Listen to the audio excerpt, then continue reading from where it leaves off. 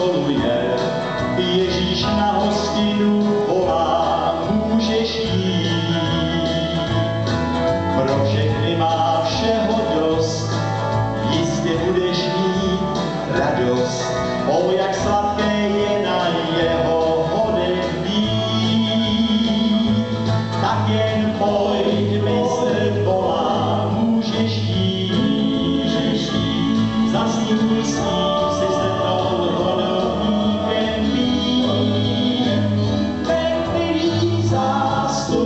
seděl, vodu ve víno proměnil, hladového stoje volá, aby žil, aby žil.